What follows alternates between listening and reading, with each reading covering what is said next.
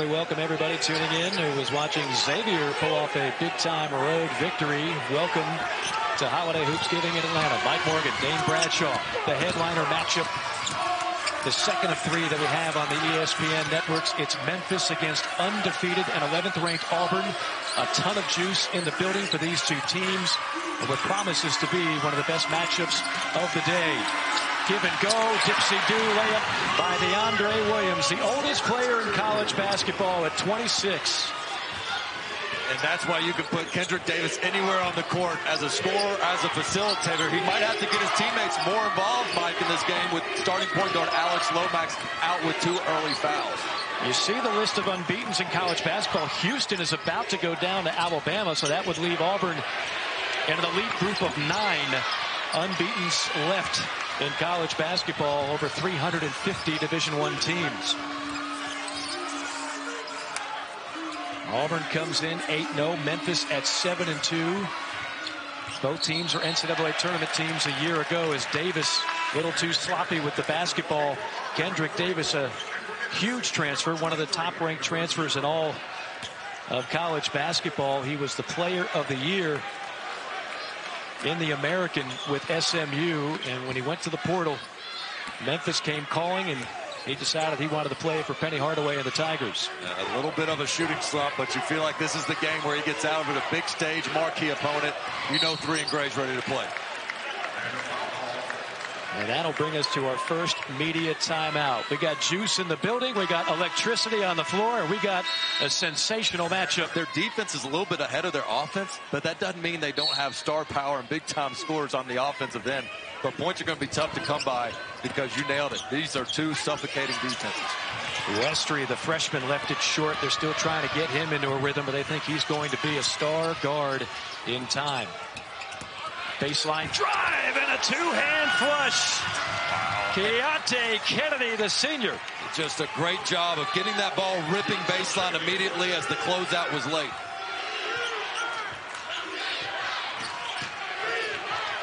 When I say senior associated with a Memphis player, forgive me if I sound redundant, because they are chock full of seniors and fifth-year seniors and grad transfers. They got a veteran bunch. And no coincidence that Penny Hardaway says this is the calmest he's been right. the head coach for the Memphis Tigers. That's right.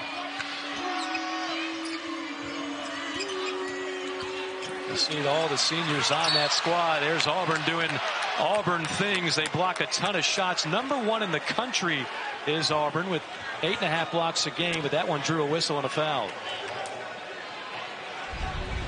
It's amazing how Auburn defends, but watch this. Yeah, and you see Dylan Cardwell coming over for that block, and that's how you're going to have to attack the rim.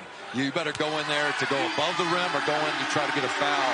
You try to go up there soft, he's going to get pinned against the glass for both of these teams. Jaylin Williams is going to exit the game with his second foul. We already have three players in this game with two fouls, more for Auburn and Lomax for Memphis. Free throw up and in for Malcolm Dandridge, another senior who Penny Hardaway told us last night he is our X factor, not only for this game, but really for the rest of the year. Three ball. Johnson, you don't want him to heat up if you're Memphis. He can be electric when he's on. The bigger the crowd, the bigger the stage, the bigger his game. I mean, he loves this type of environment. Davis takes it strong, absorbs the contact, and gets the finish. Yeah, if you're Johnson, you got to turn him a little bit. He just let him have that straight line drive. No help came over. Good read by Davis. What a find he was. Reigning AAC Player of the Year. Another three. Another make for Auburn. It's Allen Flanigan. Well, that was all Dylan Cardwell. He flashed to the ball when the point guard was in trouble, then made the perfect pass on the kickout. This is an Auburn team that's undefeated despite struggling. Look at that move. Kendric Davis, the fake, the take, and the make. He is electrifying. I mean, he's just outstanding with the ball in his hands. Uh, before that highlight play by Davis, which is worthy of another look. Yeah, here's the three ball by Johnson. Just gets it in transition, and they're going to dare him to shoot the ball more of the driver. And then here's Kendric Davis. Sir, with a bag like that, it won't fit in overhead. You got to check that in, Mr. Davis. This this gets the truth, man. Yeah, he's a special talent. averaging over 17 points. Last year he averaged over five assists a game in the American in spite of being one of the top scorers in the league. A, a do-everything guard. Came to Memphis already with over 1,500 points on his resume.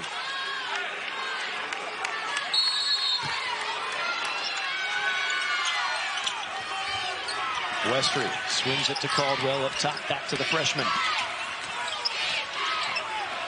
Cardwell looking for Flanigan. Johnson, heat check, pops out. KD Johnson, an Atlanta product. You know, he wants to shine here at the State Farm Arena in Atlanta. Tapped around. Memphis will get a second possession out of the deal. Open three. Got it. Davis, look out. If he ignites, he's already got seven. He'll get the free throw attempt here. Preseason all SEC second team. KD Johnson, former Georgia Bulldog.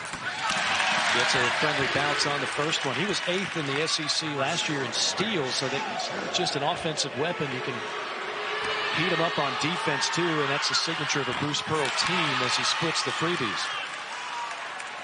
And so far, the defense for Auburn, they are holding opponents to 58 points a game. That's the 14th best total in the country. And no question, this is the biggest test of the early season yeah. for the Auburn Tigers. Bruce Pearl knows it. His team knows it. Memphis Tigers off to a really solid start. And as you mentioned, both these teams so active defensively. Westry lost the handle. Boy, Memphis so active defensively. And that's your, your, your big man. Williams stepping out, being able to guard another point guard. Davis lobs it down low in traffic. Carving out space and getting the finish is Dandridge. Yeah, a lot of tough twos. I think both coaches are going to instruct their team. When you get it low, go ahead and put it up because offensive rebounding is a key for both of these teams and actually a weakness if there's any on the defensive side for both. Largest lead of the game. It's Memphis up by five. Seven minutes into the action here from Atlanta. Johnson probes the baseline. Kick out to Westry. Met by Davis. Dribble, pull up, can't get the bounce. Davis, little shake and bake around the screen. Lob pass, not that time. Dandridge, though, there for the loose change. This is Kennedy. Transfer from UTEP, and Kennedy got bottled up, but also got held up by Westry.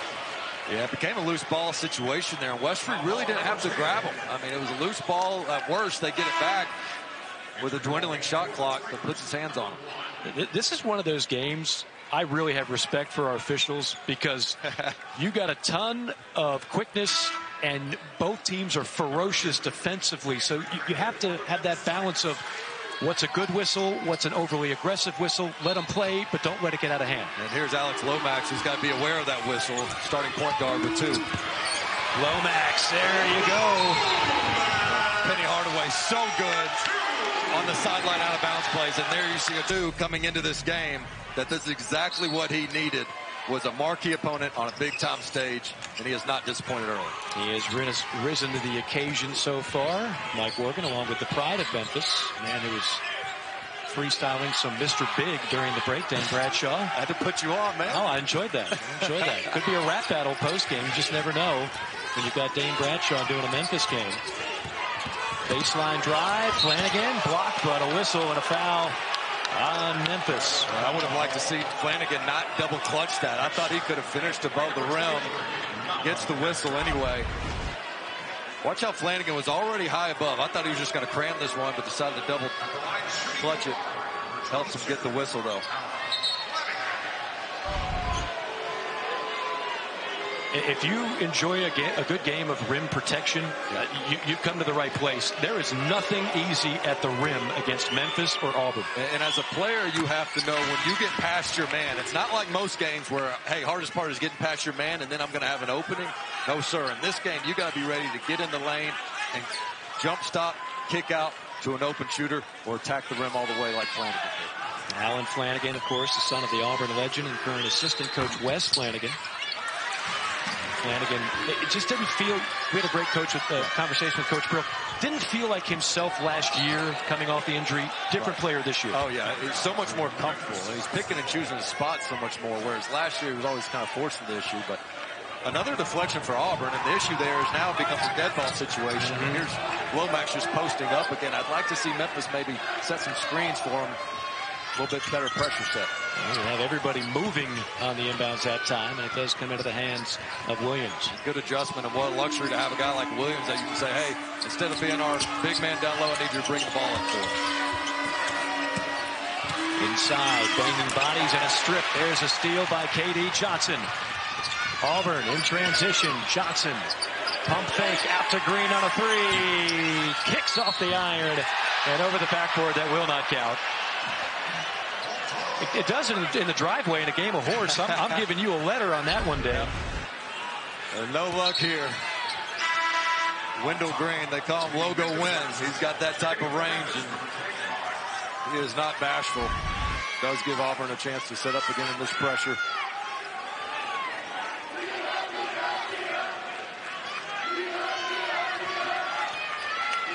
Auburn again keeps the heat on. It, it's, it's amazing. I mean, you and I go back. Of course, you played with Bruce at Tennessee. I remember calling some of those games when Bruce at Tennessee. I've never seen a coach put so much emphasis on denying inbound passes. Yeah, and, and he's lessened that over the years on the 94 foot pressure. So this is a little bit more specific to this game.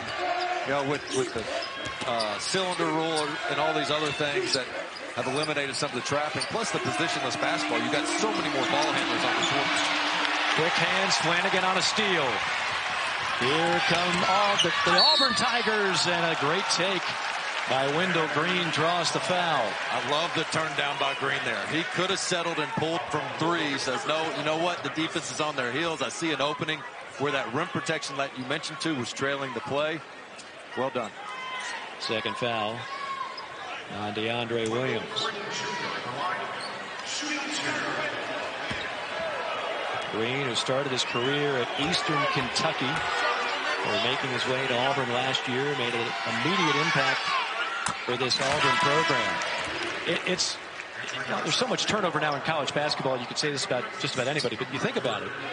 You lose two first-round draft picks. You lose Jabari Davis, who's one of the best players that has ever come through the Auburn program. He's a one-and-doneer. And then, of course, you lose Kessler, who's Walker Kessler was the National Defensive Player of the Year, a shot blocking machine. I think everybody was wondering, okay, well, how much pressure does that put now on these guards to be more productive offensively? Yeah, and don't forget, I mean, the ability that they had to just get in the lane and lob it up to Kessler, where they had so many opportunities just right there tonight that just don't exist anymore.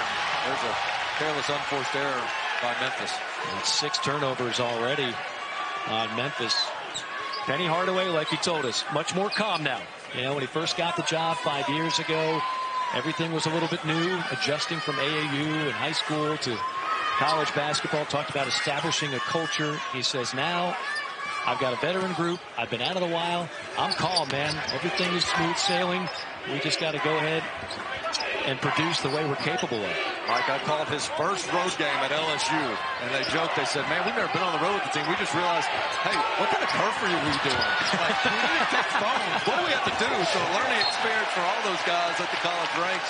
But he loves his team right now. However, despite having so many veterans, a couple of rookie-type mistakes the past two possessions here. Sloppy basketball by the Memphis Tigers. That is four straight possessions with a turnover for Memphis. And again, Auburn can do this to you. They will continue to heat you up. And Bruce Pearl told us point blank, we have got to force turnovers and we've got to take good care of the basketball. Johnson seeking contact, did not get the whistle. Yeah, good no call there. Runner off the mark. Top floor for the rebound. Jaylin Williams. Here's Johnson on the push. Surveys. Drives and gets the finish. Patience by K.D. Johnson. Yeah, there are no pit stops in his game. I mean, he is point A to point B. Lomax finds an open Williams on a three. Left it short.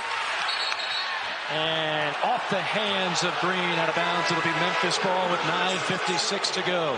Well, this Auburn team is built differently, but the pace of play continues to be fast for this Auburn team under Bruce Pearl and KD Johnson. I mean, when you tell players you want them to be a straight line driver, he's the definition of it. He knows how to get to the rim as quickly and as efficiently as possible. Kennedy checks in for Memphis. Along with Lomax, DeAndre Williams, and Jayden Hardaway, the son, of course, of the head coach Penny Hardaway. Lob pass into the corner. DeAndre Williams. Oh, clear out. Now mismatch right here for Davis. Davis sees it, throws up the floater, missed it, tapped around, and finally reeled in by Broome. Yeah, I, th I thought he could have played with it a little bit longer. Know, get Broome back on his heels. Two on one. Johnson got it.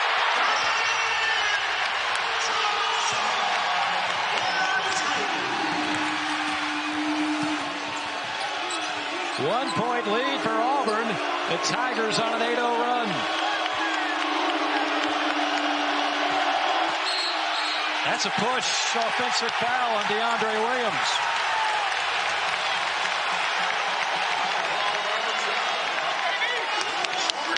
KD Johnson is the heartbeat of this team. I mean, this guy plays with such passion, enthusiasm, and emotion. And check this out. You don't think he's excited to play? He loves the big stage.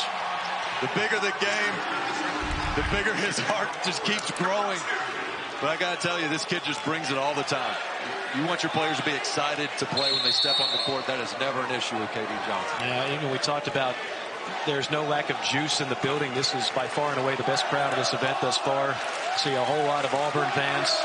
Again, just a couple hours away from the campus, and Memphis fans always travel well. It's it's loud and rowdy in here, but that juice has translated on the floor as well. And KD Johnson, one of several players in this game that bring it night after night. Absolutely. And for Memphis, they got to go a little bit deeper than they expected. You got Dandridge with three, Williams with three. And so here they are with a lineup they have not used that often. Flanigan bobbling the handle. we mentioned Pistol Pete earlier. It's one way to do it up, I guess. Flanigan finds Johnson. Johnson Tough three. Contested that time by Kennedy. And then Lomax coughed it up.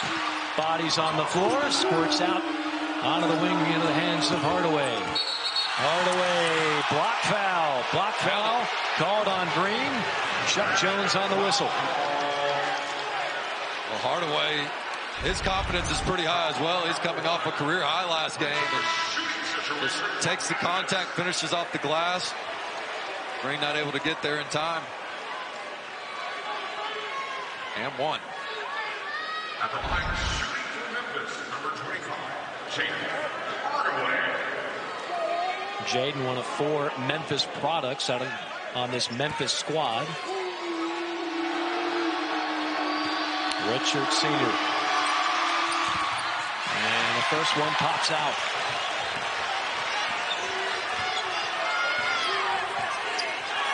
21-20, Memphis with a one-point lead.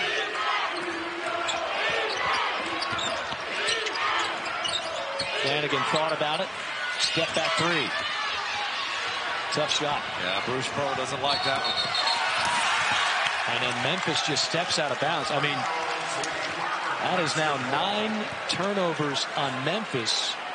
Again, a lot of it is caused yeah. by Auburn, but some of it it's just a little bit of sloppiness. Uh, I think Memphis fans are thinking, I, I thought this chapter was behind us. Right. That was with Bugaboo last year. They've done a better job of it this season, but so far in this game, too many freebies and empty possessions on the other end. Memphis last year, made it to the second round of the NCAA tournament. Gave Gonzaga a, a scare. I got everybody excited about this year's team. First basket for Jaylin Williams, who Bruce Pearl said they really need a big game out of Jaylin Williams tonight. Missed the last one with COVID after the tournament in Cancun. Another turnover by Memphis.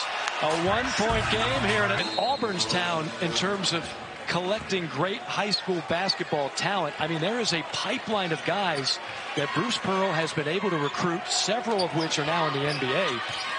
As an Atlanta native, Dane, I mean, it's quite frankly, it's been amazing how he's been able to dominate recruiting with two major programs right here in Georgia and Georgia Tech. On the lip reading from my city, did you give him the benefit of the doubt? I, I, like what you did there.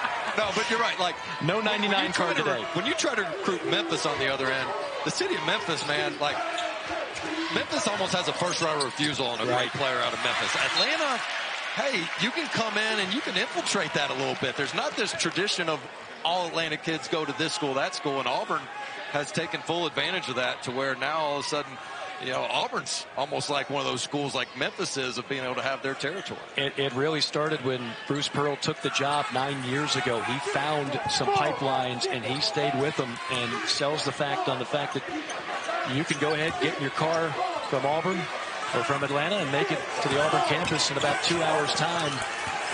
Good sales pitch. Well, Mike, you, one thing is you got to get them.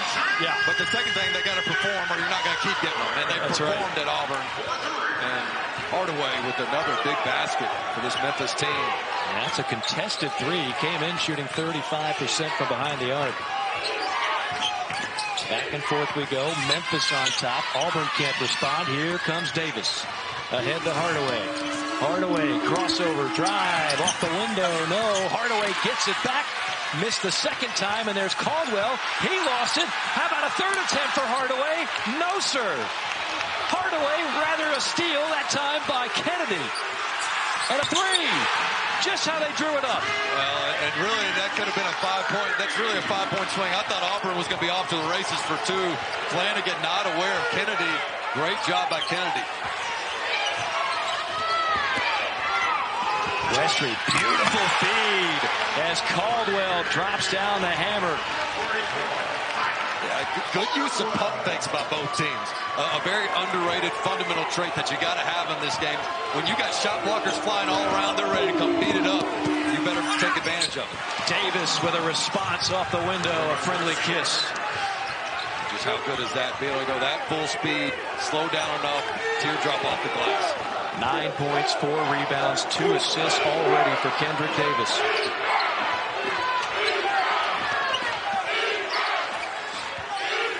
Flanigan at the top. Into the corner and back up top with nine to shoot. Might have to be a settle here. There's a three on the way. Back iron. That's a free ride courtesy of Alex Lomax. I don't think Cardwell bought a ticket. Oh, they're calling out Lomax? Oh, wow. Well, you know, if, if Lomax has his palms up and his elbows out, then they got him on the wrap. And I thought it was a textbook block out and an easy call for the official on the other side of it. But if Lomax shows his hands and has his elbows right. up, when he put him down, that's where it put the referee in a position to have the call go against him. Tough break for Memphis. That is a real. That would be the third foul on Lomax. We had a similar play like this with Appleby, the small guard for Wake Forest, boxing out yeah. Williams of LSU. And he just grabs a hold of him on the back, and, and yes, 44 goes over his head, but I think the the referee saw it differently. If, if, you, like you said, if you keep your hands empty. Yeah, right. You got to show your hands. It, it's just like when you guard a, a, dribble penetrator. If you put your hands into them, the rest mm -hmm. of them assume you're fouling. And that one, officials had a better look at it than, than I did. And I think the correct call. Well, that is a double whammy. The call and the third foul on Lomax, who's by far and away had his best year in a Memphis uniform and is such a We'll go back to that adjective, calm, that Penny likes to use. Well, he is a calming influence for this Memphis team. And that's the risk when you play a guy with two fouls. But I like the move by Penny Hardaway. I think too often coaches say, okay, you got to automatically go sit the rest of the half. And it's too hard to get in a rhythm in the second half. Plus, you don't know how many minutes you left on the table at the end of the game if the kid doesn't foul out. So I, I like the move despite the tough break for Memphis. Cardwell struggles at the line, but he'll get the benefit of the doubt on the bank free throw. He's 50% on the year. He's 50% there. Full court man-to-man -man from Auburn. Memphis again struggling. Dane, to your point, you got to move, right? Yeah, you, you got to move. And I think a lot of times people want to have their best passer taking the ball out. I'm not sure Lawson's their best passer, plus they don't have a lot of move. Afternoon of hoops. He is Dane Bradshaw. I'm Mike Morgan. We've got a great day of hoops here in Atlanta. The second of three. LSU in a thriller beating Wake Forest after trailing by 20. That was the game that preceded ours. We had that one just a couple hours ago. This one a lot more fans and juice in the building and an electric matchup between undefeated Auburn and the Memphis Tigers.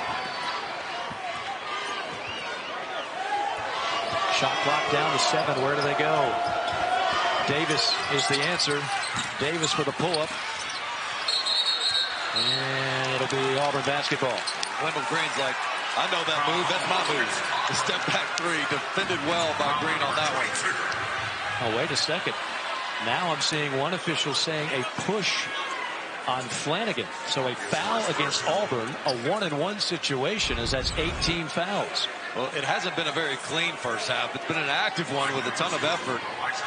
And they're going to get Flanigan on a touch foul there. I'm not even sure Memphis was expecting it, but I'll tell you what, if you're Penny Hardaway, you feel pretty good right now. You got a four-point lead the turnovers that have been unforced, the foul trouble you're going up against. I think that Memphis team has played pretty well, all things considered, and been able to get an edge, especially in the paint when they're plus 10. And they're beating Auburn at their own game on the glass, plus 10 on the glass, many of those offensive rebounds.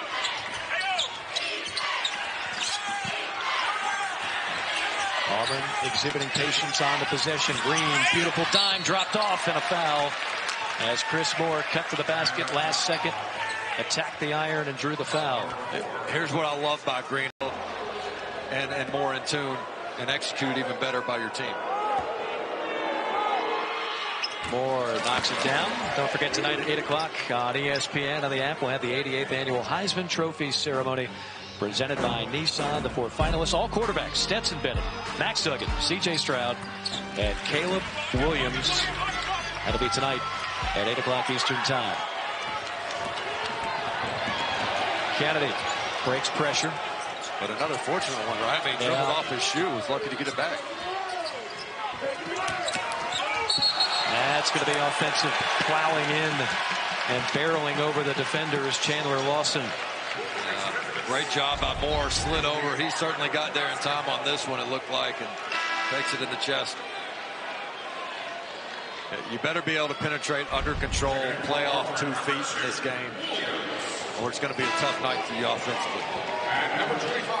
You see, Memphis only averages 13 turnovers a game already with 11, but again, that's what Auburn can do. You're a big KenPom kind of stat guy, analytics guy, right? I, I read one of the more interesting numbers that I've seen. If you include steals and blocks, Auburn forces a steal or a block 34% of their opponent's possessions. That's one of the top marks in the country. Three ball knocked down by Chris Moore. He's a different player, more confidence this year. And oh, by the way, he's from West Memphis. If you can get a few of those to go in, then all of a sudden you don't put so much pressure on your defense to be perfect the way you alluded to. Westry had a steal. Memphis got it back, and then a foul against Auburn. Alabama knocking off undefeated Houston earlier today. Missouri is having all they can handle in their ball game. We'll keep you posted there. So Auburn one of nine left. Could be less than that after this ball game as Lawson drains the first free throw. Transfer from Oregon, six foot seven with a seven seven wingspan. One of the several players over the last few years that prepped at Memphis East High School, part of three straight championships, including one with Coach Penny Hardaway. He is one of four brothers that played at Memphis. Yeah, the Lawson family, those were legends in Memphis, and what a run they had at East High School under Penny Hardaway ultimately led to this job. It's been a little bit of a chaotic, dramatic tenure so far, but as you mentioned, a much calmer year right now under Penny Hardaway, especially with all these veterans. Broome just wanted some help and instead tossed it right in the hands of Davis. Davis on the attack. You know he's going to finish. He does. Three-point opportunity for Kendric Davis. I, I, can't tell you how good that is. I mean, Kendric Davis just explodes in transition. He beats everybody off the court. But watch how he slows down at the end and says, come here, let me get this and one off you. And he seeks out the contact and then finishes through that. Well, you are exactly right. He looks at Jaylin Williams and says, come on, yeah. come on, I'm, I'm, I'm right here He could have had the easy two. He said, no, I, I, want to get through the hard way. But he did come up limping. He, he's had a nagging ankle injury a little bit. That, by the way, is the third foul on Jaylin Williams. So we have two players with three fouls. Make it three. Dandridge and Lomax the others. You see Kendric Davis came in cold, as you mentioned, with these bright lights in this game, yeah. in this city. You knew he was going to snap out of it. Yeah, we've seen him do it at the rim, from three, transition, you name it. But right now, if I'm Auburn, you know, he, has got a bum leg. He's limping a little bit. I'd like to see them attack and try to make three guard. Drive and kick. Open three from the corner. Traore can't connect.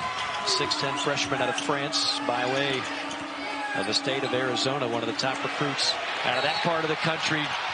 Johnson had the steal, but stepped out of bounds. Otherwise, Auburn was off to the races.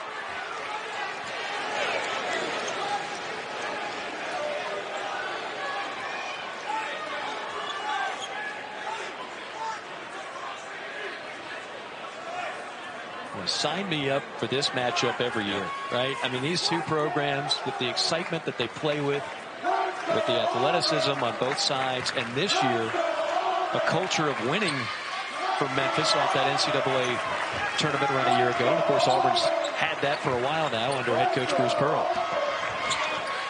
Strong take, no, and a rebound torn away by Moore. Tigers on the attack. It's Johnson. Dipsy do. High off the window. Off the mark. Look out. Here comes Kendric Davis in the open floor. Davis. Crossover. Davis wheeling, dealing. That one might have been blocked, but the follow is there by McCadden. I love the aggressiveness. You push it in transition. It's so hard to come by good shots and points in the half court. You've got to be opportunistic, as Davis was there. 7-0 run for Memphis in the last buck 50.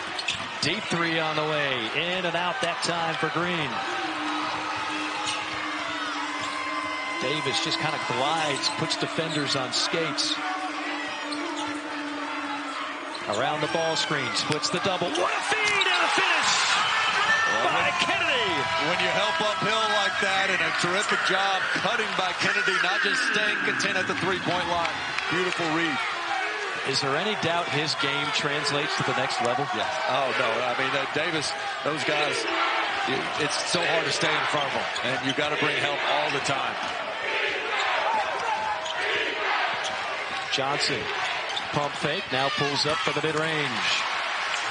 K.D. Johnson stops the run. Memphis had its biggest lead. Now it's back down to six.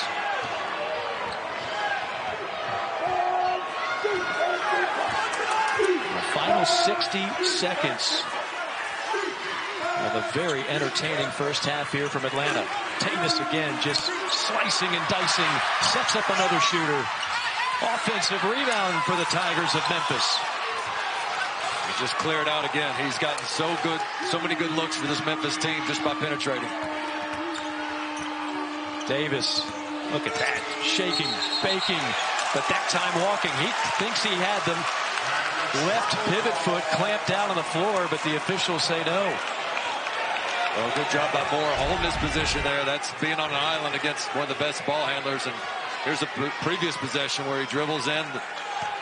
The help came pretty early. That's just too easy of a read for Davis and Johnson, who's been so good just in this game.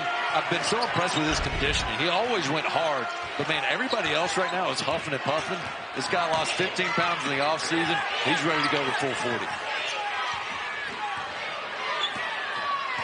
Five-second differential, game clock to shot clock. Johnson with seven to shoot, hounded by Davis. D3 on the way. Flying in for the rebound. KO. Here comes Memphis. Two seconds, one second. Who else but Davis? That time off the mark. And that is how an energetic and sometimes frenetic first half comes to a close. 38 30. Hey, but it's the confidence. He did it as respectfully as he could. We talked to Penny about it as well. He said, look, it's a teachable moment. Say, hey, we don't want any bulletin board material material for the other team, but that's what's made him so great. He is fearless, and he doesn't care who he's going up against. He's going to respect his opponent and fear nobody. That was before the St. Louis game, by the way, a game in which they won 65 to 60. Lomax, one of four players with three fouls, misfires on the first shot. By the way, they need some T-shirts being sold in Memphis with his face, and I'm, I'm a bad.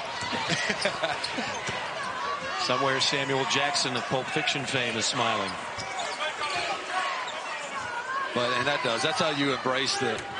In Memphis, they, they want to see grinders. They want to see tough guys. Uh, Zach Randolph was a guy that wasn't from Memphis, but he became one of the most beloved Grizzlies of all time because of that chip on his shoulder. Uh, if you're Auburn now, you're down six as Hardaway launches a three.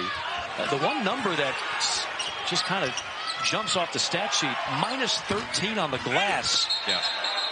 That's going to be a foul on the floor. Uh, going to be goal, goaltender, so the bucket will count. And Mike, I think that's one of the most underappreciated things of that first half of Memphis limiting Auburn to just one offensive rebound. And this is an Auburn team that gets 39% of their misses. So the Tigers doing a terrific job on the glass. Auburn came in number eight in the country in offensive rebounds. You mentioned just one, just one in that first half. Launching the three and delivering is Chris Moore. Well, he's not somebody you'd say is just a dead-eye shooter, but when he has time to get himself set, get in rhythm, he can be effective. He's back on the court. This summer, he was coming off of shin surgery. That sidelined him for 10 to 12 weeks. Had a couple of players that were kind of working their way in, coming off injuries and being a little bit rusty. We talked in the first half about Chance Westry. He missed the first two games in the preseason due to arthroscopic knee surgery. He's still kind of finding his way into the flow. Well, and the age of the transfer portal, Chris Moore is a great example. A kid from West Memphis, Arkansas, that's waited his turn. And now he's been able to start every game as a junior. Gliding in, left it short, second effort, third effort, and finally ripped down by Johni Broome. And then Auburn runs into our table, and then on the other end, it's Alex Lomax. Water bottles flying everywhere. That was uh, a little chaotic. Uh, plenty of activity there. I mean, just careless turnover by Auburn. A little bit of pressure from Memphis, and Auburn just did not handle it very well. For the record, Dane Bradshaw was not in position to draw a charge. Not even close. no, was not. Broome came flying out. He did a good job of holding up, putting on the brakes. Um, no seriousness, they need Broome to play well in this half. I mean, when you get dominated on the boards, they need four and orange to step up. We look like two matadors for the bull coming at us. And you still manage to figure out who scored and call it. Just doing my job. Lomax, excuse me, Davis seeking contact. He got it, but no foul called. Auburn the other way, two on two. Broome wheeling and dealing and got it to go. Johni Broome. And now Memphis just throws it away. Well, he had a guy open, but you talk about overthrowing him. Uh, that, that's an interception in football right there. But this all starts with Zep Jasper's defense on Kendric Davis that leads to Broome being patient down low. And then Memphis had an opportunity for a run out.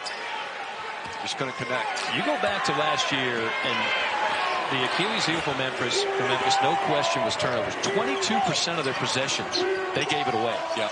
And they cleaned that up so far this year. They have not cleaned it up in this game. Auburn had a couple of looks at it. Can't get it to go. It'll be Memphis ball. A five-point game. Less than three minutes into the action of the second half. Yep, Bruce Pearl is in postseason form. when is he not, huh? That's true. That's true. And, and look, we love every game out there in November, December, but there's certain ones that clearly stand above the rest. This is the kind of game that fans and obviously broadcasters are like, we can't get enough of. A, a packed house here at an NBA arena, two entertaining teams, one undefeated team. This has been spectacular. And well-coached team. Yes. These guys have scouted one another extremely well. And it, it's not going to be a thing of beauty offensively. You're going to have a lot of plays just like that, where it's just attack, try to draw contact. A lot of times, you're driving to get fouled, not to score the way this game is. That's a foul on Moore. That's his third. This might be a game of attrition by the time we get to the final few minutes of the ball game. It's five players now with three fouls. Two big-time coaches of Penny Hardaway and Bruce Pearl taking different paths, obviously. Penny Hardaway, all-star NBA player. Tell you one thing they got in common is ticket sales. Yeah. I mean, both took over pretty empty arenas yes. with a hungry fan base. And Memphis had had more recent success than Auburn. But for Auburn to become one of the, if not the most intimidating, intimidating atmosphere in the SEC is, is unbelievable.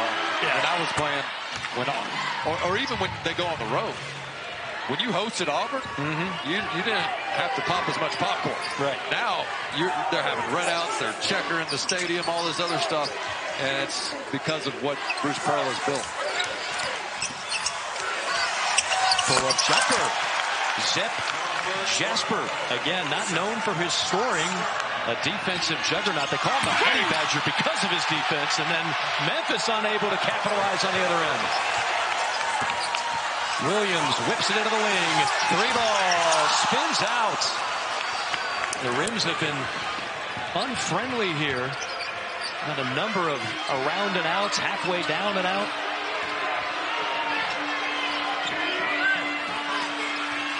See if Davis can go back to work. Likes the matchup, takes it strong, stakes it in, driving left, finish with the right.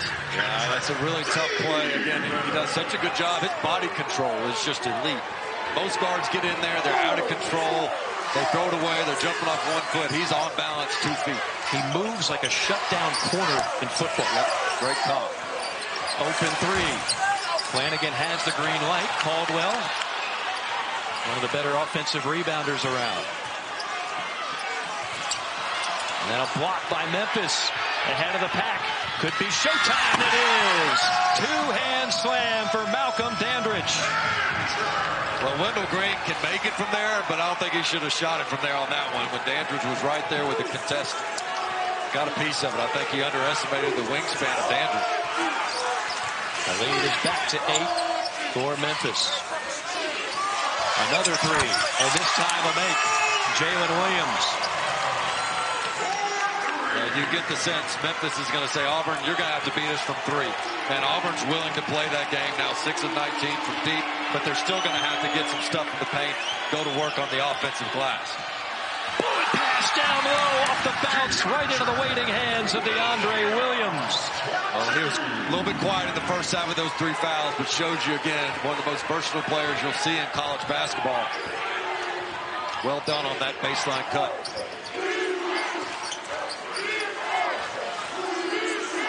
Seven-point ball game. 14 and a half to play here from Atlanta. Green trying to find somebody open. There it is. Jasper left alone. Got it back. Up top, Green. In the lane. Dipsy Do draws the foul, and he got the basket. An and one.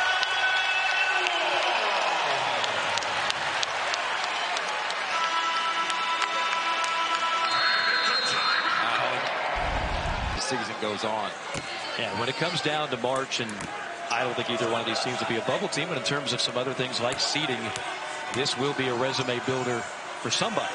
Well, and, and it's almost as if the Memphis Tigers are saying, hey, we're just going to build our resume through the SEC, right? Mm-hmm. I mean, they, they, they, uh, they already had Ole Miss and they've got Auburn right now, and then they go at Alabama. Kendric Davis is about to introduce himself to the SEC, and then Texas A&M as well. So plenty of resume building opportunities. And if there's anybody I want to see in March, it's Kendric Davis. I, I mean, he could be one of the stars of that tournament. 17 now for Davis. Again, the transfer from SMU. And he still gives former head coach Tim Jankovich, who's now retired, the former SMU coach, a whole lot of credit for getting his life on track. He was a, a young man that had a, a lot of issues. You see him spotting up for the three here. His father was incarcerated. He went to six different elementary schools, had some anger issues, wound up eventually at SMU, and to this day he still says Tim Jankovich is responsible for getting him on track for his ultimate goal, which is the NBA, which certainly seems like a certainty for that young man. Well, just a phenomenal story. I mean, that kid has gone through adversity. He is so tough. And you see it on the court. And then once you hear that story, you see, wow, uh, now I love him even more. All right, Dane, let's talk about this here. It's the largest lead for Memphis. What does Auburn need to do differently? Well, they got to try to get to the rim. There you go. Okay. I mean, right now, this is not an Auburn team like some of Bruce Pearl's teams past that's better from three than two. No, they're better from two than three. But half of their shots in this game have come from long range. That is credit to Memphis. Lomax knifing in, gets the basket. And good job not letting the ball stick. As soon as they got in their hands, they kept swinging it, find the cutters. One other interesting stat or lack thereof for Auburn, they lead the nation in block shots. Memphis has attacked the rim a bunch. Not a single block in this game for Auburn. Uh, no, Memphis is 17 of 24 at the rim. That's unheard of against Auburn. Good take that time by Johnson. In heavy traffic. Memphis on the other end on the attack. Whoa, what a shot that time by McCadden. Falling on the ground and somehow getting it up at the rim. Bruce Pearl saying, guys, we're getting what we want on offense, but hustle back on defense. Get set up. Can't be trading buckets. Quick hands by Lomax, who dives and almost pulled off a highlight steal. Well, here's the commitment to the paint right now after that timeout where Bruce Pearl says, hey, put your head down, get to the rack. And KD Johnson can finish through contact. But then on the other end, good job by Memphis pushing it even after a make. I mean, a lot of teams push it after a miss. That time, they catch Auburn off guard. Dandridge on the floor for Memphis with four fouls. We mentioned that'll be a factor later in this game. Right now, Auburn just needs to find baskets to keep it close. Turnaround baseline jumper. Silky smooth from Dylan Cardwell. Well, you'll, you'll take it if you're Bruce Pearl. That's not your bread and butter, but it went in. Now you just got followed up with a stop. Try to get some momentum, and here's this home crowd on the neutral court for the Auburn Tigers. Uh, it's it's semi-neutral. There's definitely more Auburn fans in the building, and they've gotten loud right here.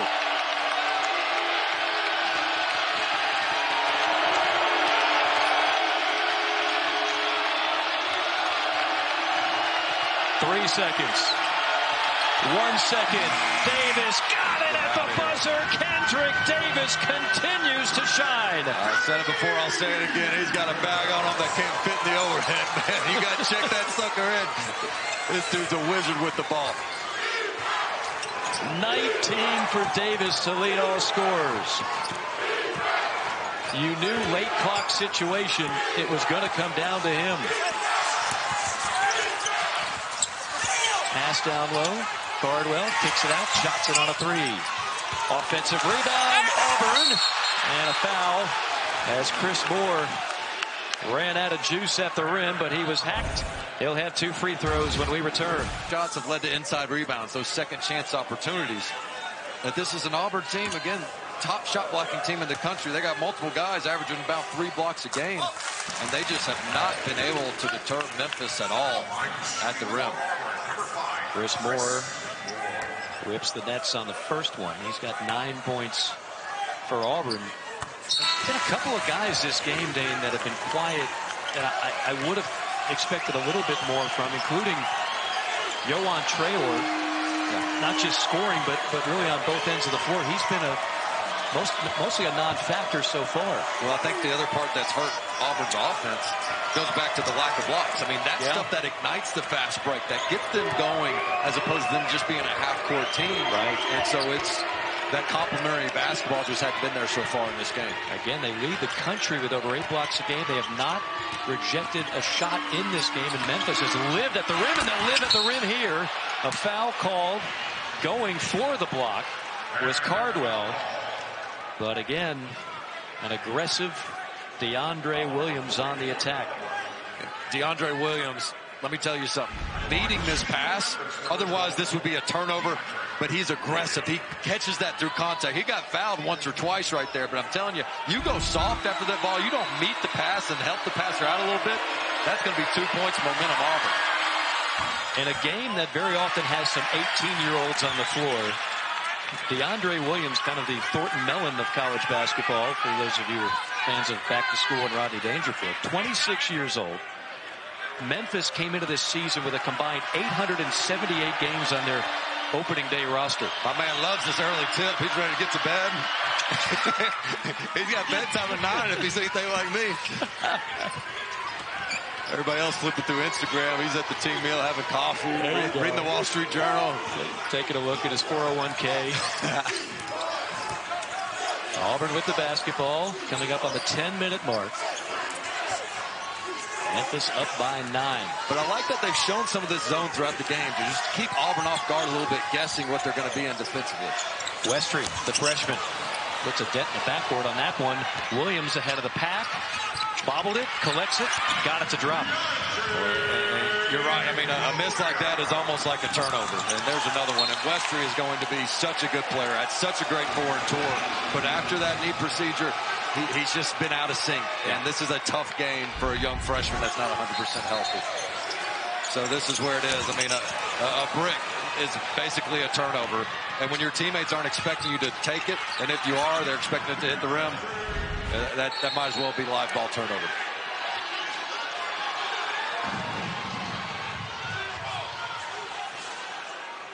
Yeah, we might. Yeah, the bench for Auburn has been warned. A bench warning. No technical foul, but a bench warning. Uh, Bruce realizes, I mean, even though there's 9.50 to go, that's an eternity. So this is a little bit of a danger zone spot. If you're Auburn, that'll help with a steal from Flanigan. Yeah, they've had some success with their full court pressure. They just haven't been able to get in it much. Flanigan can't find it from close range, and then a foul in the backcourt. And that frustration is starting to boil over for Auburn on both ends of the floor. I'm not sure Flanigan didn't get hit. Like, I, I don't see him getting that close and missing that wide right. And I don't know if it was partially blocked, but both he and Bruce Pearl thought there was contact. Oh, well, you had an Auburn player line up on the baseline, but it is Memphis basketball. The foul was given to West to Westry. That's his third. Lomax racing into front court. Follow-up slam is no good from Williams, but Memphis will get a third crack at it. These second chance opportunities just really preventing Auburn from getting anything going and able to get consecutive stops. 14 offensive rebounds for Memphis in this game. That's been the difference. Tough shot that time by Davis. Green on a blow by. There's a miss on the finish, so he does not miss that one often. Three on two. Davis can't get it to fall. Auburn on the other end. Back and forth we go. Johnson dribbles off the foot of a defender. It's not a kick. Cardwell. That is a block foul. And that is a break for Auburn because this thing is starting to get a little bit out of hand for Auburn. Memphis has got everything going in the right direction and leads by 11. Well, a couple missed opportunities for both teams. I thought Wendell Green did a great job with his hesitation on the pull-up three to get to the rack. But then Memphis had a chance to really capitalize and extend this lead. Missed a layup of their own. So a lot of back and forth. It's the old quote, don't mistake activity for production. Right. right. on full display there. I, I feel like I keep asking you the, the same question, and the answer probably hasn't changed. But wh where does Auburn go for the offense? What changes here in the final eight minutes and change? Yeah, well, they're, they're getting some of the zone right now, and you'd like to get a paint touch and get inside out. But, you know, if, if Memphis is going to be this dedicated to make Auburn beat them from the outside, Wendell Green, those guys are going to have to catch a little bit fire. But really, it's got to start on the defensive end. They, they could be as frustrated as they want in the half court, but the answer is getting a stop on this end and pushing in transition, get to the free throw line. See if they can get a stop here Davis going to work on Johnson. Davis, one crossover after another, just a yo-yo dribble, and then a and flying DeAndre Williams gives Memphis its largest lead. And that's due to the attention that Davis gets. I mean, he's got all eyes on him, so when he does penetrate just a little bit in that quick snapback pass, good read by Williams. I don't know what's more impressive. How about the defense? How about the finish on the other end by Kendric Davis? Timeout Auburn. It has been the Kendric Davis show here. From the offensive end, the defensive end.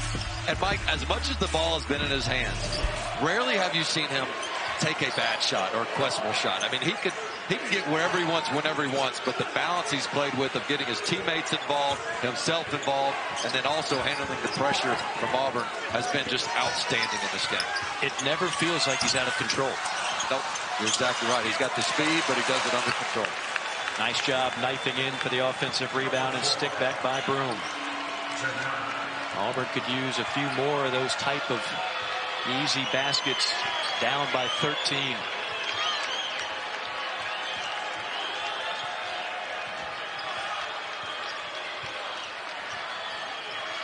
And a great two-man game between Davis and Williams.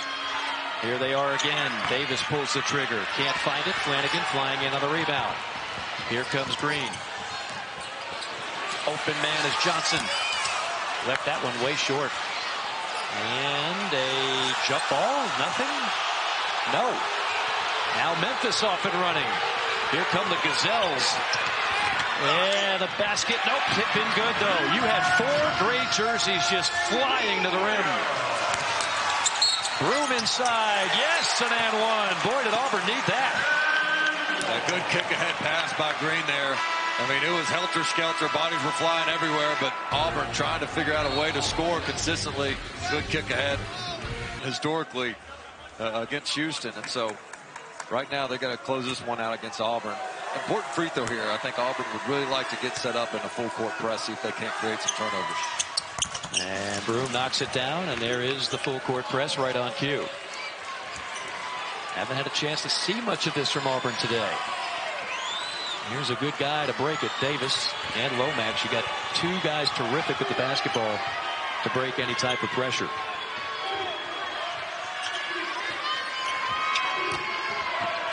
Kennedy up top to Hardaway. Angles it in to Williams. And off Davis. Davis on the attack draws the foul. And the whistle will be against Jasper.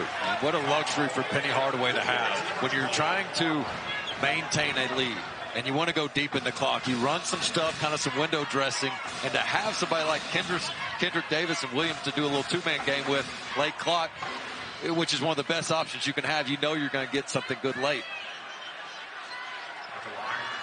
You know, guys that are six five, six six, that can attack the rim and finish well don't impress me nearly as much as a guy like this who does it at six feet, a buck 75.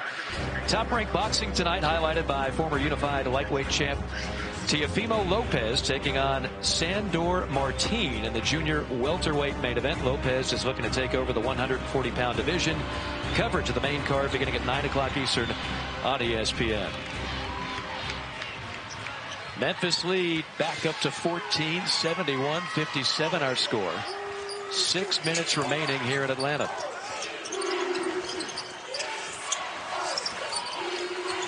We haven't said Alex Lomax's name much, but I think he's done a really good job when he's been in of denying Wendell Green the ball back. They've kept him out of the offense for the most part in half court.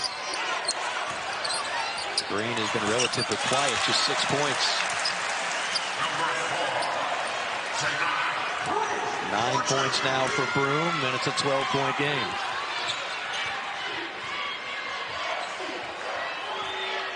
Nine in the second half for Broome make that, and 11 total. And now an offensive foul on Memphis. Trying to crack that door open. The question now becomes, can Auburn slam through it? Well, it had to start with at least a stop. Forget consecutive stops. They got to get the first one, and here they are. Good job there by Jasper, whose on-ball defense is, is one of the best in the country. Now, a lot of people talk about 12 and orange, but let me tell you something.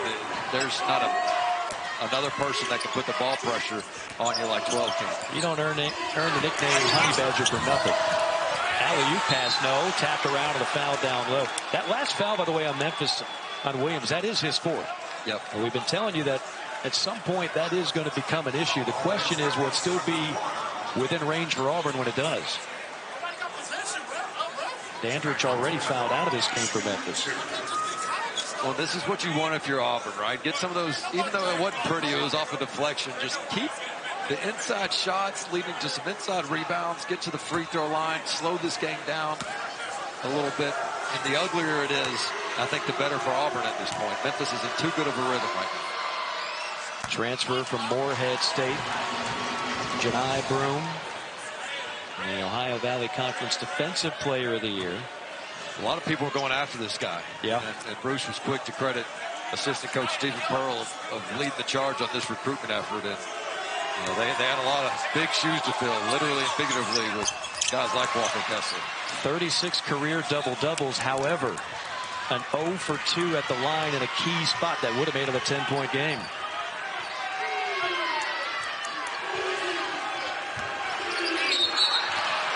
Broome goes for the steal. Yeah, they, have got to be solid. And Wendell Green's mad at his teammate because it's it's not yet time to just start gambling. Uh, I think you can still inch your way back into this game with traditional stops as opposed to reaching.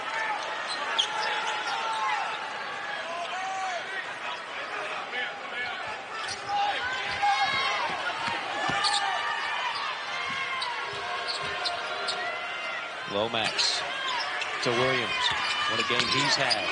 Williams still on the attack. Williams high off the window and in. 16 points for DeAndre Williams to go along with 11 rebounds and a double-double performance.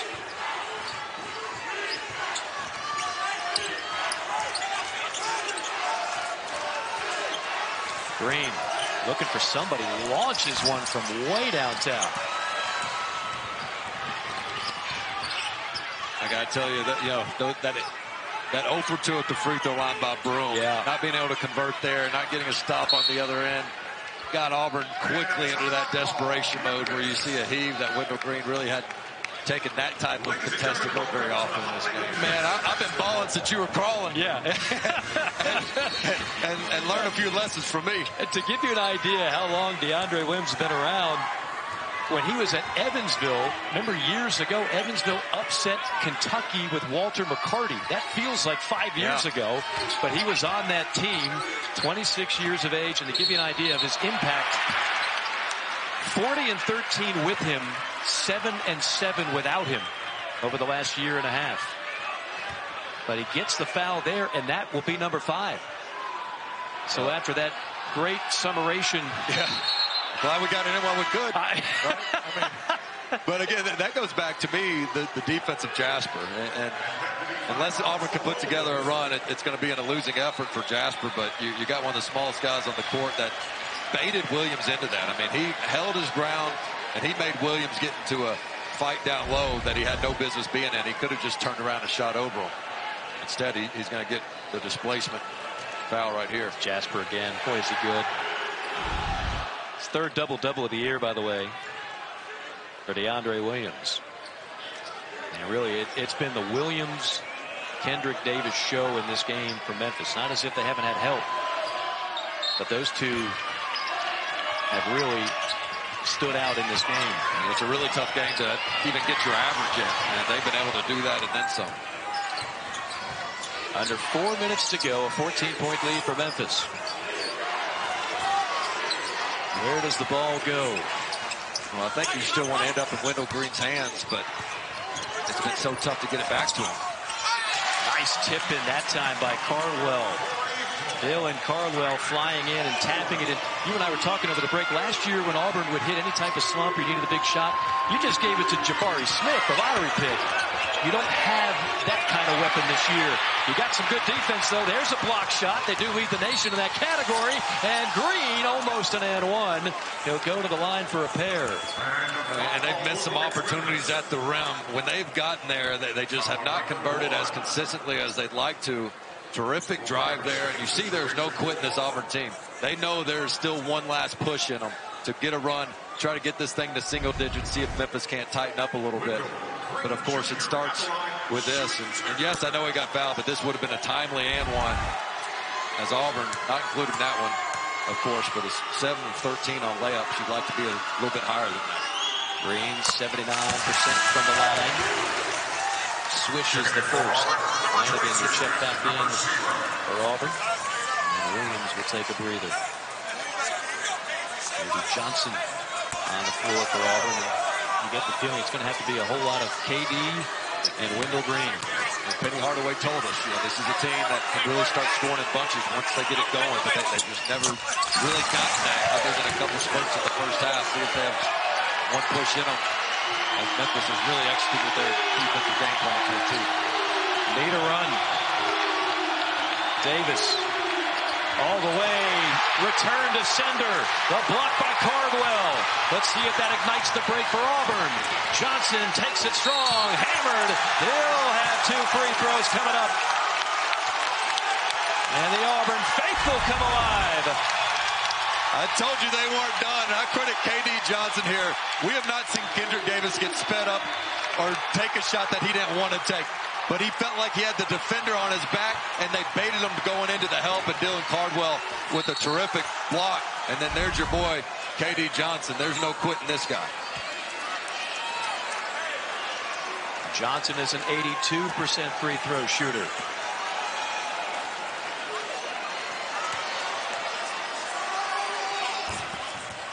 Gets a friendly bounce. You know, Mike, before that play, we almost forgot about how many more Auburn fans are here instead of Memphis. I mean, that's another credit to Penny Hardaway. We look at this as a neutral site. Right. But, but you know, it's not quite the jungle, but it still should be home court advantage to a degree with all these Auburn fans, but they've been kept quiet for a large part of this game. At halftime, I went back to grab a refreshment running into Auburn fans from Birmingham, Tennessee, all parts of the Southeast coming to this game.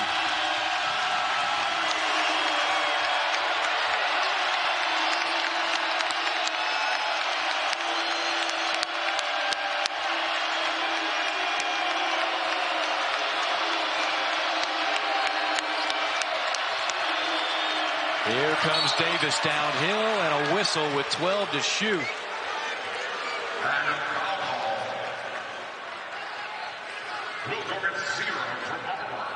That was kind of a double whammy because you commit the foul, but not before 18 valuable seconds come off the clock. But here, here's what I love on that. We get the benefit here with the best seat in the house. Yeah. Alex Lomax, with his veteran leadership, he was the one sitting there at the top of the key.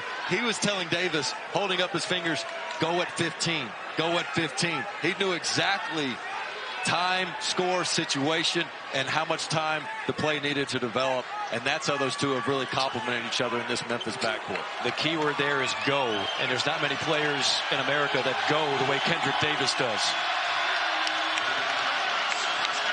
It's only the 16 foul, so no free throws. 20 on the shot clock, but a chance to bleed more clock if you're Memphis. Oh! Well, Lomax will track it down. That looked a little bit precarious the moment it was released.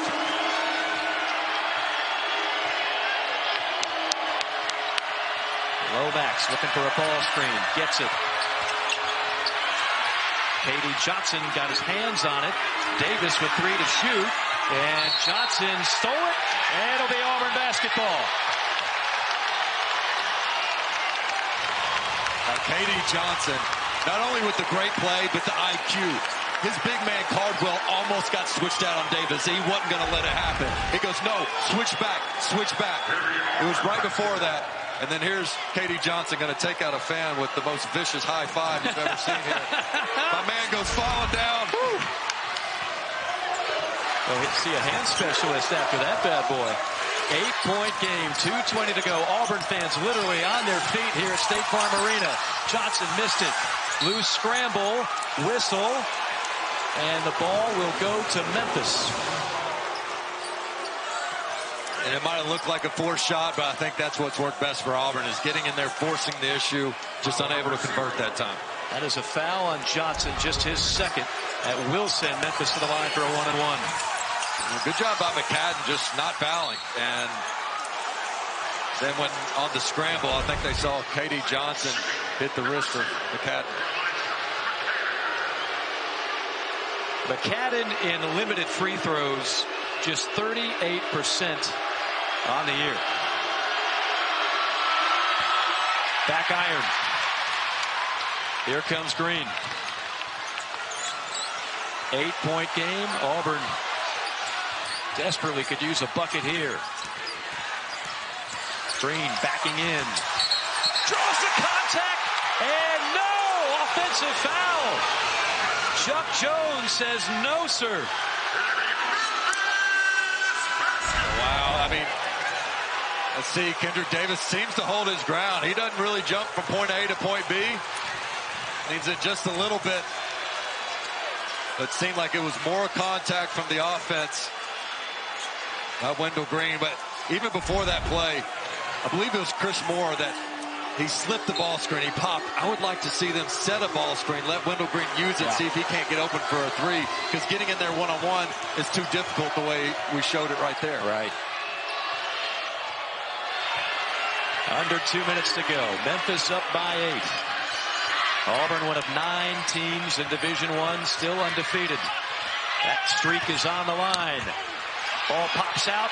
Auburn's got numbers. Ahead of the pack to the rack and spins out. Chris Moore can't get it to drop.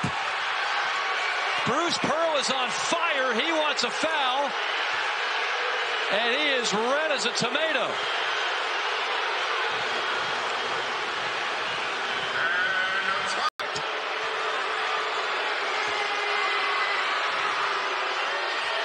Lomax 80% on the year. Huge free throws. And the guy you want at the line in this spot. Beg your pardon, Kendric Davis. The other guy you want. Take your pick, Lomax or Davis. Davis is 88% on the year.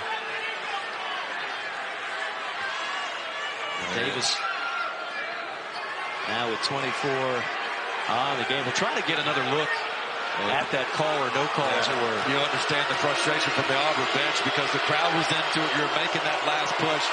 You get a bucket that you thought might have could, could have been an and one, and then you get your easiest two, where they, they just had some layups slip out on them. And Bruce Pearl felt like he had gotten touched. I didn't see the contact there. Maybe his foot at the bottom. That's the only place I could have seen. Did the shoes yeah. get clipped up there? Getting tangled up. That'd be the only place to freeze that is, is the foot, but I didn't see the hip check. Uh, the complexion of this game just changed dramatically. You had a chance to cut it to six. Now it's 10, and Memphis has the basketball. A minute 20 to play. This would certainly be the biggest victory of the year if Memphis can hold on. Lomax finds Davis. Five on the shot clock. You know Davis wants this. I mean, you know he's going to fire, and he draws the foul. Got Green to leave his feet.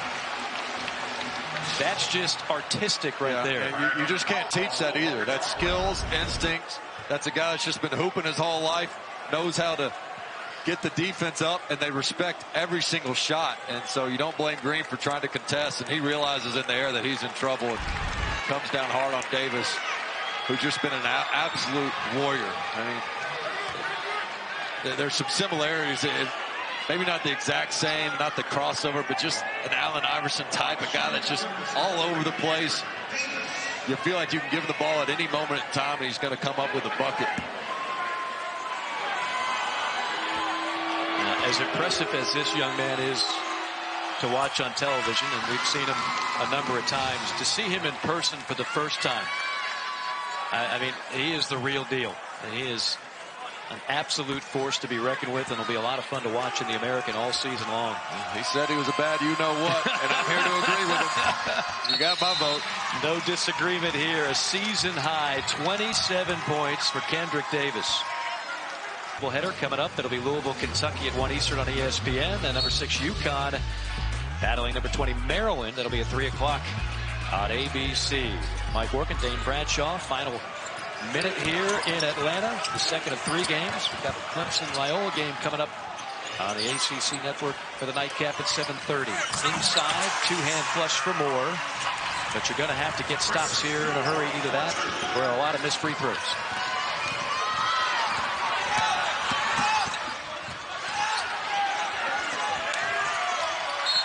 Lomax finally does get the foul with 22 on the shot clock, so eight more precious seconds off the clock. Well, and you admire the fight of this Auburn team of trying to come in here and stay undefeated, but it certainly looks like they'll be falling out of that list of unbeaten teams. Well, we're going to be down to at least eight. We're going to we're going to be down to at least 18, and I'm told Missouri is about to lose. So we are going to go from 10 to 7 Kind of a bloodbath Saturday for the undefeateds in college basketball. Again, one thing that I think you should come away with, whether you're an Auburn fan or whoever, these are still these are still two very good teams. Memphis today was simply better. Yeah. But I, I, think Auburn is only going to get better with time. They've just got to work in some new guys. Yeah, they had Memphis had the best player on the court as well, but I, I don't think it's as simple as hey they just had a better player. Memphis played their style of play. They're not a heavy three-point shooting team. They got 60 attempts on the night. Only 11 of those are from three. They got to the rim, whether it was in transition on the offensive glass, and that's where they were able to put up 79 points, not yeah. because they were just this poetry in motion on the offensive end. I thought they were able to make Auburn pay in, in multiple ways. Well, they're going to win this in spite of 19 turnovers, which is a season high for Memphis. And again, that's the part of the game that they really want to clean up from last yeah. year to this year. But what I don't think anybody would have predicted is the domination on the glass that you just referenced. Yeah, absolutely. And this was Auburn's toughest test of the season. I mean, and so um, they were prepared. They had their game plan. Sometimes you just don't execute. And when you go up against this type of competition for the first time, it can be a little bit of a wake-up call for some of the players. But it does help to have Kendric Davis. Uh, it definitely helps to have that. Yeah. And, and, again, Auburn had a, you know a different version, obviously, different kind of player in Jabari Smith, but they had a special go-to guy. Yeah. And so when you have other guys that may be struggling offensively, what have you, to have that one guy that you know when you need a bucket, yeah. you're going to him. And at times in this game, we weren't sure where Auburn was, was going to go. Right, and, and, the lack of shot blocking that was able to lead them in transition. And so um, I thought I thought Memphis played pretty composed. They, they had some adversity themselves with some unforced errors on the turnovers you mentioned. The foul trouble Lomax had early. Yeah. And let's go back to that. Coaches don't get enough credit for playing their stars with two fouls in the first half. Uh -huh. Penny did with Lomax. Yes. And he picked up a third. Guess what?